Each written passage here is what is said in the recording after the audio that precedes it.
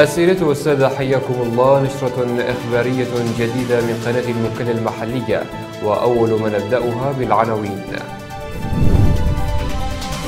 الإمارات تدعم كهرباء الساحل بدفعة ثانية من المشتقات النفطية.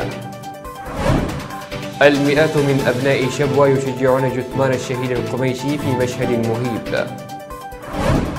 الهلال الأحمر الإماراتي ينفذ حملة الرش الضبابي لمكافحة البعوض الناقل للحميات بأبين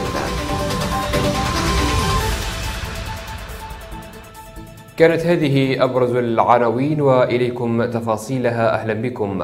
رست على رصيف ميناء المكلا الباخرة النفطية قالبوت التي تحمل على متنها 7000 طن متري من مادة الديزل مقدمة من دولة الإمارات العربية المتحدة دفعة ثانية لدعم قطاع الكهرباء بساحل حضرموت. وخلال استقبال الباخرة أشاد وكيل محافظة حضرموت للشؤون الفنية المهندس محمد العمودي بالدعم الإماراتي المتواصل لكهرباء الساحل للتخفيف عن كاهل المواطنين وخاصة ما يمس حياتهم اليومية مثل الكهرباء التي تعاني تدهورا وانقطاعات مستمرة. بسبب نقص في المشتقات النفطية. لافتا إلى أنه خلال اليومين القادمين ستصل باخرة أخرى تحمل كميات من وقود المازوت مقدما من الأشقاء في دولة الإمارات. بدوره بين مدير عام شركة النفط اليمنية فرع ساحل حضرموت الدكتور خالد العكبري أن هذه الشحنة المقدمة من الإمارات ستسهم في استقرار التيار الكهربائي من خلال تمويل محطات الكهرباء بمادة الديزل. كما سيكون هناك توفير في مادة الديزل لشركة النفط للسوق المحلي من خلال الاستفادة من الكميات المتوفرة في الخزانات الخاصة بالشركة. آه، تم استلام آه، اليوم في صباح هذا اليوم في محافظة حضرموت آه، في ميناء المكلا الدفعه الثانية المقدمة من الإخوان والاشقاء في دولة الإمارات العربية المتحدة لدعم قطاع الكهرباء لتشغيل الكهرباء بكميه حدود 7000 طن من مادة الديزل. وهذا امتداد لدعم الشخي والمنحة المكرمة المقدمة من دولة الإمارات لمحافظة حضرموت والقطاع الكهرباء واستمراريتها. باسم السلطة المحلية نقدم جزيل الشكر والامتنان إلى دولة الإمارات العربية المتحدة وكذلك القيادة الحكيمة في دولة الإمارات وكذلك القائمين على الهلال الاحمر الإماراتي. باسم حضرموت نقدم جزيل الشكر والامتنان. نحن اليوم نستقبل الشحنة الثانية من مادة الديزل.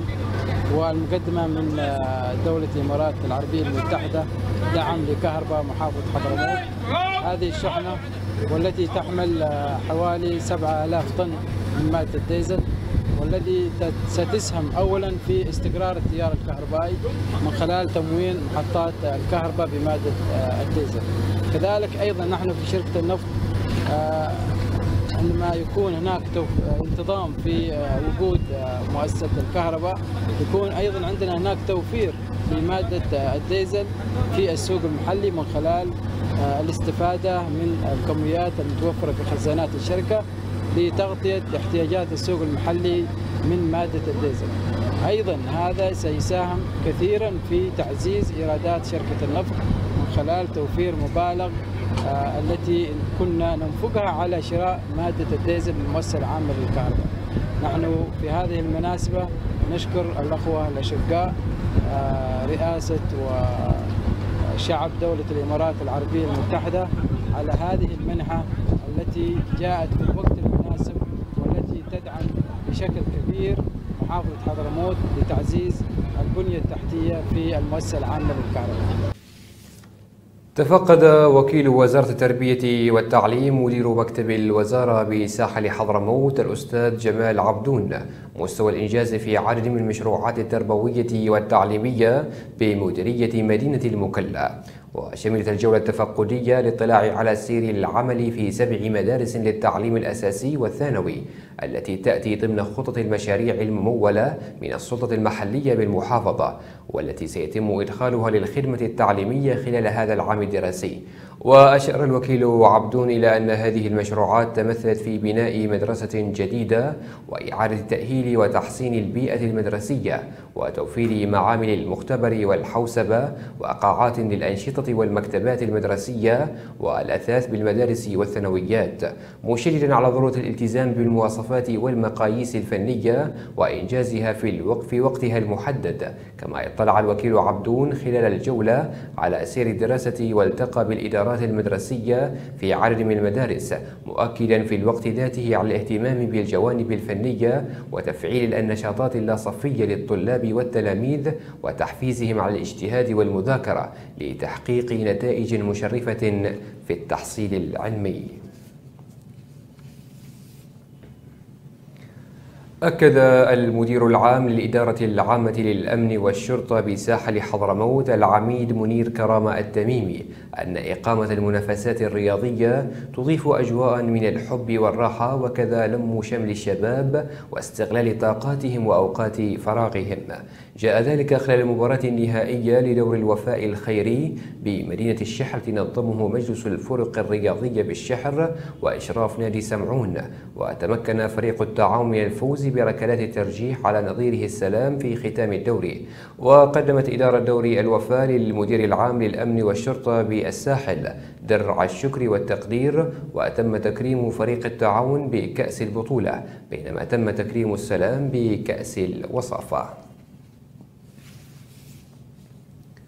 أقام فريق رفقاء التطوع التابع لمؤسسة الأمل التنمية عيادة تخصصية مجانية لذوي الأمراض النفسية بمركز بروم لطب الأسرة. واستفاد من العيادة النفسية التي يشرف عليها أخصائي الأمراض النفسي الدكتور أحمد الحبشي 33 حالة مرضية من مناطق بروم وجول الرياض وحصيحصة والدحس وتم صرف العلاجات للحالات المستفيدة.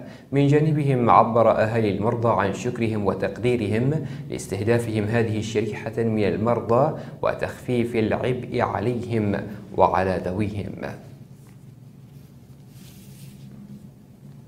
ومن شبوة شيع المئات من سكان مدينة حبان في شبوة جثمان الشهيد سعيد القميشي في مشهد مهيب الذي استشهد برصاص ميليشيات الإصلاح في المظاهرة السلمية للمطالبة بعودة النخبة الشبوانية.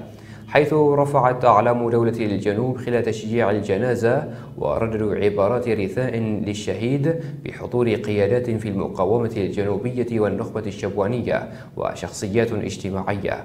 وخيمت حالة من الحزن والاستياء الشديد على الأهالي لحظة تشجيع الجثمان لمثواه الأخير مرددين هتافات رافضة لتواجد القوات الشمالية في محافظتهم ومطالبين بسرعة توحيد الصف لطرد هذه الميليشيا الغازية. السياسية وجددوا العهد للشهيد بالسير على دربه حتى النصر.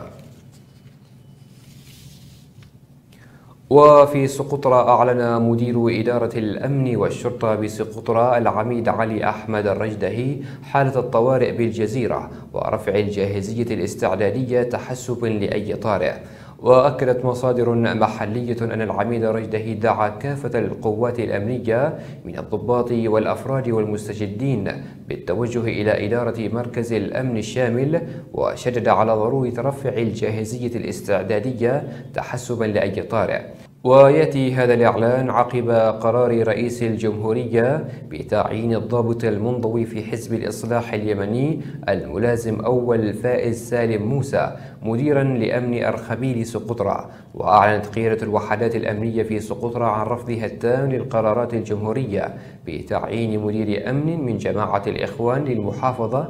وفي ذات السياق أعلنت عدد من القيادات الأمنية في محافظة أرخبيل سقطرى انضمامها إلى المجلس الانتقالي الجنوبي ورفع أعلام الجنوب في مقر إدارة الأمن. ووجه العميد الرجدهي جميع أفراد الأمن بالتوجه إلى مواقع عملهم بما فيهم أصحاب الإجازات من أفراد وضباط القيادة العامة للشرطة. وأما في أبين فقد نفذ مكتب الصحة العامة والسكان بمحافظة أبين حملة الرش الضبابي لمكافحة البعوض الناقل للملاريا وحمى الضنك ضمن حملة الاستجابة العاجلة تنفذها دولة الإمارات العربية المتحدة في المحافظات المحررة بإشراف الهلال الأحمر الإماراتي. واستهدفت الحملة استمرت لمدة خمسة أيام مديريتي زنجبار وخنفر وأشاد مدير مكتب الصحة بمحافظة أبين الدكتور جمال أمديب بالجهود التي يبذلها الهلال الأحمر الإماراتي من خلال إقامة حملتي النظافة والرش الضبابي مشيرا إلى أن حملة الرش الضبابي تهدف لمكافحة البعوض الناقل للحميات وتقوم فرق الرش باستهداف أماكن تجمع النفايات والمستنقعات المائية. وعبر قيادي بالمجلس الانتقالي بمحافظة أبين عن شكر أبناء المحافظة لدولة الإمارات العربية المتحدة وذراعها الإنساني الهلال الأحمر الإماراتي. على كل الجهود يقدمونها لمحافظة أبين في مختلف المجالات. هذا ويذكر أن الهلال الأحمر الإماراتي نفذ حملة استجابة عاجلة شملت النظافة والعودة إلى المدرسة وتوزيع السلال الغذائية والرش الضبابي. ونختم أخبارنا بخبر من لحج حيث سيرت هيئة الهلال الأحمر الإماراتي قافلة مساعدات غذائية إلى منطقة وادي درب بمديرية طور الباحة بمحافظة لحج. ويأتي هذا الدعم ضمن حملة الاستجابة العاجلة التي تنفذها دولة الإمارات العربية المتحدة في المحافظات المحررة بإشراف الهلال الأحمر الإماراتي. وتستهدف المناطق المتضررة من الأمطار وثمن الأهالي مساعي وجهود ذراع الإمارات الإنساني هيئة الهلال الأحمر الإماراتي في كافة التدخلات الخدمية والإنسانية لأهالي محافظة لحج. وكان الهلال الأحمر الإماراتي قد أطلق حملة استجابة عاجلة في محافظة لحج وغيرها من المحافظات تشمل توزيع مساعدات غذائية وإيوائية. بهذا الخبر نكون وصلنا وإياكم إلى ختام نشرتنا لهذا اليوم وهذا تذكير بأبرز ما جاء فيها. الإمارات تدعم كهرباء الساحل بدفعة ثانية من المشتقات النفطية المئات من أبناء شبوة يشجعون جثمان الشهيد القميشي في مشهد مهيب. الهلال الأحمر الإماراتي ينفذ حملة الرش الضبابي لمكافحة البعوض الناقل للحميات بأبين ختام نشرة مشاهدينا الكرام دمتم في أمان الله.